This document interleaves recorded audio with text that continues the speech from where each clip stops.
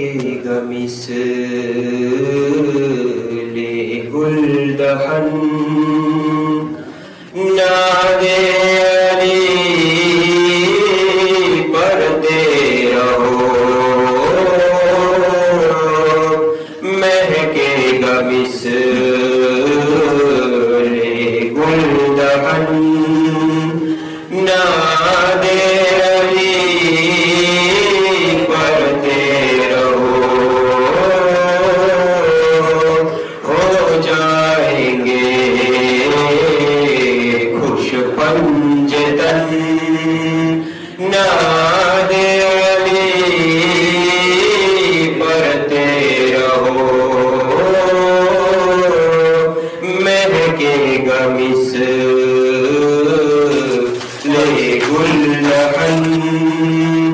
know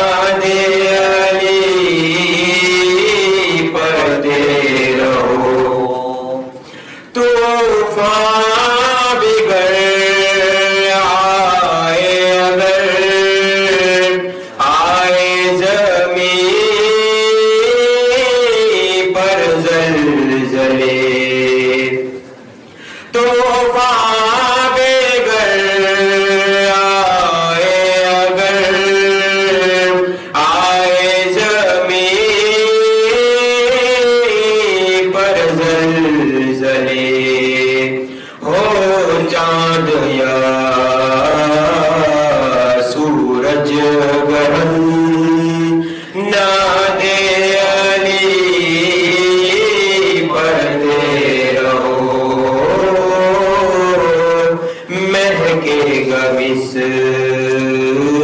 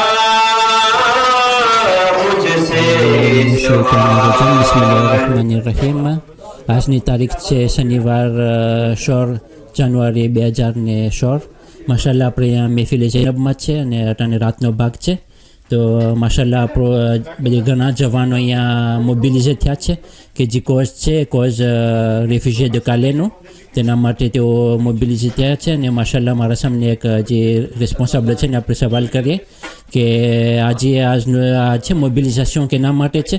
તો સૌથી પહેલાં પહેલાં તમારો પ્રેઝન્ટેશન કરશો? Salam alaikum. Donc, euh, je me présente, Naïl Badourali. Euh, je suis le responsable au niveau de tout ce qui est récolte pour le groupe et l'association Réfugiés de Calais. Je m'occupe aussi donc euh, de tout ce qui est coordination logistique et tout ce qui est moyens de locomotion et transport de marchandises et de personnes. Adé appelé, euh, c'est la troisième action que nous faisons aujourd'hui euh, pour les réfugiés de Calais. Nous sommes déjà allés deux fois. La première fois, on est allé faire une grande distribution il y a un mois et demi de cela. La deuxième fois, on est allé à Calais toujours, mais cette fois dans les entrepôts pour aider les personnes sur place et les associations sur place pour faire tout ce qui est tri de vêtements dans les entrepôts. Et aujourd'hui, nous repartons justement pour faire une distribution non plus à Calais, mais sur Dunkerque. Dunkerque, pourquoi Dunkerque? Pour la simple et bonne raison que Dunkerque aujourd'hui connaît des difficultés qui sont encore plus grandes que Calais. આજે આપણે સશે તમે જોશો પછવાડે એ સશેના અંદરમાં આપણે રાખ્યા છે એક લીટર દૂધ નાખ્યા છે એક કિલો ચોખા એક કિલો ખાંડ બીજું અ, એક સાર્દીન છે એક ને એક બોisson lactée છે Après, on a préparé la semaine dernière 865 sacs, euh, sachets donc de conditionnement que nous avons fait. On était à peu près 40 la semaine dernière au Méfilé Zenab pour préparer tout ça. Et nous partons demain les distribuer. On est pour la distribution, Inch'Allah, 15 personnes. Pour cela, nous avons loué trois gros camions que vous avez pu voir euh, pour euh, le chargement. La marchandise équivaut à peu près à 3 tonnes 5 et euh, nous partons avec donc trois camions et une voiture Inch'Allah à 15 personnes passer une journée auprès de nos frères réfugiés qui sont cette fois à Dunkerque pour leur apporter tous les premiers euh, besoins au niveau alimentaire pour 3-4 jours pour eux. Voilà. On va profiter de l'occasion pour euh, demander, comme euh, vous avez déjà pu participer à deux, deux à trois fois à la distribution à Calais, euh, qu'est-ce qui vous motive à faire plus aujourd'hui? Bah écoutez, la, la réponse, j'ai envie de vous dire, est toute simple. On est tous humains au départ. Et aujourd'hui, machallah, nous voyons que nous avons les moyens. Nous avons les moyens aujourd'hui de vivre. Nous avons un toit pour dormir et un repas chaud tous les jours. Et aujourd'hui, nous voyons que malheureusement, nos frères, qu'ils soient syriens, afghans, érythréens et j'en passe, ceux qui sont à Calais aujourd'hui ou à Dunkerque, vivent dans des tentes, c'est ce que nous avons pu constater quand on y était, vivent dans des tentes dans des conditions complètement dégradantes pour euh, la dignité humaine. Ils sont dans des tentes, euh, ils n'ont pas de route, ils, ont des, ils vivent dans une décharge qui a été aménagée pour eux. Euh, il y a de la boue par terre, ils n'ont pas de quoi manger, ils font un repas par jour. Aujourd'hui, quand on regarde notre condition de vie et la leur, on est vraiment très touché par cette cause quand on sait que ce sont des frères qui soient musulmans, chrétiens ou autres religions, ça reste quand même des frères pour nous et euh, on est vraiment touché. C'est pour ça qu'on est vachement mobilisé, qu'on a mobilisé tous les jeunes et les moins jeunes au niveau de notre Zamat qui ont été touchés par cette cause et qui veulent absolument être là, présents, aider et surtout aider son prochain. C'est ça, c'est ce qui nous motive le plus aujourd'hui, c'est vraiment l'aide à son prochain. Là, je vais poser une dernière question. Euh, Quand vous avez eu le contact avec les réfugiés, c'était quoi leur réaction, s'il vous plaît? Bah écoutez, j'ai été moi-même agréablement surpris de leur réaction. Il faut savoir que les réfugiés sont des personnes qui sont très gentilles. Malgré leurs conditions de vie, ils ont toujours le sens de l'humour, ils ont le sourire, ils ont la joie de vivre et ça se sent et ça se ressent et ça se transmet. Et c'est ça, on, on était allé la dernière fois, on a été mais très très très bien accueillis par des personnes agréables qui étaient là à nous poser des questions, d'où on venait, ce qu'on faisait, pourquoi on venait les aider et on leur a expliqué la cause, ils étaient vachement touchés et je sais qu'après notre départ, on a eu un retour de leur part en disant que ça s'était vachement bien passé et eux de leur côté, ils souhaitaient nous revoir. Donc nous de notre côté, on souhaite retourner les voir surtout parce qu'on a toujours été bien accueillis et on a été euh, touchés par cette cause. Moi, c'est ce que je dis aux gens qui, euh, qui nous demandent pourquoi on fait ça.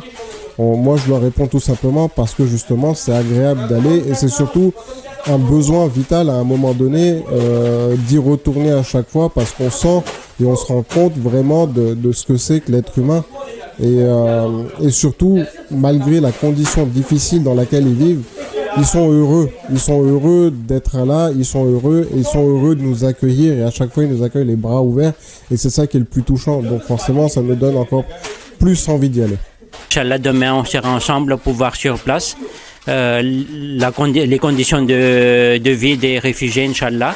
Et puis, donc, si vous voulez remercier aussi votre équipe à la fin. Bien entendu, moi je remercie à chaque fois que j'envoie des messages de- d'aide à mon équipe et à toutes les personnes présentes. Je les remercie à chaque fois. Et je tiens encore une fois à remercier d'une part tous les généreux donateurs qui nous ont donné les moyens de réaliser ces différentes actions. C'est vraiment touchant. Machallah, je vous remercie infiniment pour tout ça. Je remercie toutes les personnes, jeunes, moins jeunes, qui ont répondu chaque fois présents aussi bien pour venir nous aider, pour conditionner le travail que vous pouvez voir ici, euh, et surtout pour se déplacer, pour donner de leur temps, et qui ont toujours été présents parmi nous, à nos côtés, qui ont toujours répondu présent. Donc je les remercie énormément Je sais qu'à Paris, c'est pas évident, c'est pas donné à tout le monde de prendre même une heure de son temps en semaine, et voire deux, trois, quatre heures en week-end, de se libérer pour venir, de se libérer pour venir nous aider. En tout cas, un grand merci, un grand merci chaleureux pour tout ce que vous faites, pour tout ce que vous permettez d'accomplir et pour tous les souhaits, Inch'Allah, euh, que vous permettez de réaliser à ces différentes personnes qui sont réfugiées à Calais, à Dunkerque et autres. Merci infiniment.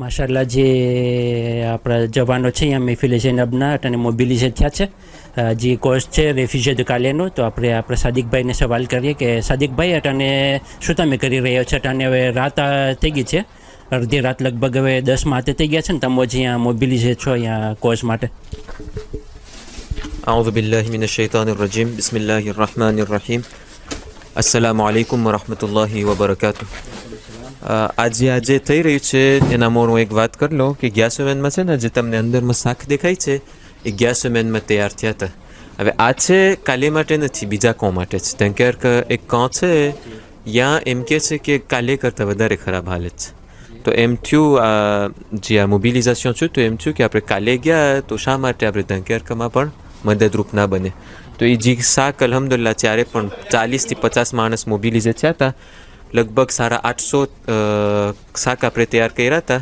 એમાં ચોખા, દૂધ પાત વગેરે ચીજો રાખ્યા છે. તો એ આજે બધું શારજમાં કરે છે, કારણ કે ઇન્શાલ્લાહ કાલે દસથી પંદર જણા આપણા મોબિલીઝે થઈને ઇન્શાલ્લાહ એ ડિસ્ટ્રીબ્યુટ કરવા જશે. તો આજે શારજમાં છે ને કાલે સવારના ઇન્શાલ્લાહ એ લોકો દેપાર થશે. તો શેખ સાદિક, અમારો એ જ સવાલ છે કે આજે આપણે મહેનત કરી રહ્યા છે. એનું અજર શું છે, આ બધું કરવાથી? અમને જરાક જાણવું હતું છેલ્લે મેં એક, જ્યારે તમે મને આ સવાલ કર્યા હતા, ત્યારે મેં કુરાનની આયતથી જવાબ દીધો હતો. આજે એ જ આયતથી હું તમને જવાબ દઉં છું કે અગર એક માણસને માર્યા, કુરાનમાં લખેલું છે, એક માણસને માર્યા, તો આખી કાયનાતને માર્યા અને એક માણસને જિંદગી આપ્યા તો આખી કાયનાતની જિંદગી આપ્યા બસ, આમાં બધું સમાયેલું છે. ને પછી આપણે આગળ જાય તો આપણે જોઈએ આપણી આપણા ઈમ્માની સુન્નત છે ઇમામ અલી ઇસ્લામ યતીમો બધાની મદદ કરતા હતા હરેક ઇમ્માની આપણી તારીખમાં જોઈ છે કે આ ચીજ છે કે જે માણસને જરૂર હોય એની મદદ કરું તો આ તે લોકોની સિરત ઉપર અમલ કરવું છે બીજું કંઈ નથી બસ માશાલ્લાહ કિપખોજા ટીવી તમને શુક્રિયા અદા કરે છે કે અટાને વીકેન્ડ છે અને અટાને ભર ઇવેર છે તો એ તમે માશાલ્લાહ તમારો ટાઈમ દે તમને કદાચ કંઈ કરવાનું હશે દેવવાર હશે પણ તોય તમે આ જે કોર્સ છે આપણો હ્યુમાનિટેનું કોર્સ છે હ્યુમાનિટેર એ બધું તમે જોઈએ અને માશાલ્લાહ તમે તમારો ભોગ દો છો તો બસ અલ્લાહ તમને ઇન્શાલ્લાહ જરૂર આ દુનિયામાં ને આખેરાતમાં અજર આપશે અને બસ ઇન્શાલ્લાહ કાલે દેપાર છે તો આપણે ઇન્શાલ્લાહ કોશિશ કરશું કે આપણું કેમેરા ત્યાં સુધી પૂગે અને જે આપણે ઇન્શાલ્લાહ બતાડશું આપણા ટેલિસ્પેક્ટાટરને કે જ્યાં રેફ્યુજી લોકો છે એ લોકોનું સિચ્યુએશન કેવું છે અને બસ ઇન્શાલ્લાહ તમારો ઘણો ઘણો શુક્રિયા Salam alaikum. Euh, donc là, on est actuellement au Mufle et Zainab pour euh, organiser le troisième déplacement. euh, là, cette fois-ci, on va aller à Dunkerque. Euh, là, on est à trois camions chargés. On va emmener plus de 3 tonnes de marchandises. Le premier déplacement on avait- qu'on avait effectué à Calais, on avait emmené euh, plus de 4 tonnes de marchandises avec euh, on était une bonne trentaine euh, de participants. Euh, donc tous ces sacs que vous voyez ont été conditionnés euh, ici au et Zainab sur plusieurs soirées on va dire une trentaine, quarantaine, voire 50 personnes étaient à chaque fois présentes, mobilisées pour euh, nous donner un coup de main. Donc j'espère que ce déplacement à Dunkerque demain se passera bien, Inch'Allah.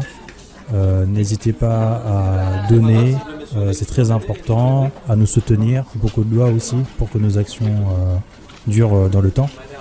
Et euh, Inch'Allah, on va tous réussir euh, pour ce projet euh, pour les euh, migrants de Dunkerque et de Calais. Euh, on a eu beaucoup de chance aussi, car beaucoup beaucoup de jeunes se sont mobilisés euh, tout au long de ce projet pour conditionner les sacs. Là, il est euh, plus de 22h30 à Paris. Il fait très très froid. Euh, ils sont là, vous voyez, on est une bonne dizaine. Et c'est pas la première soirée, c'est pas la première fois qu'ils font ça. Ils ont fait ça régulièrement, tous présents. Dès qu'on les a appelés, euh, ils nous ont vraiment répondu présents. Donc, euh, je souhaite vraiment remercier chacun d'entre eux et j'espère qu'ils seront présents lors des prochaines manifestations et beaucoup de doigts aussi pour, pour eux parce que c'est très important. Ils se mobilisent beaucoup. Ce sont des jeunes étudiants qui donnent beaucoup de leur temps pour, pour ce projet. Un dernier message euh, évidemment pour euh, les donateurs qui ont été présents euh, dès le début, que ce soit au niveau financier, au niveau euh, nourriture, vêtements. aide, aide, hein, ça compte, hein, c'est pas que à des objets ou de l'argent. Un soutien moral est très important également pour, pour nous donner du courage pour faire des efforts et continuer nos efforts dans ce grand projet. Merci beaucoup, Kodafi. Merci Kodafiz.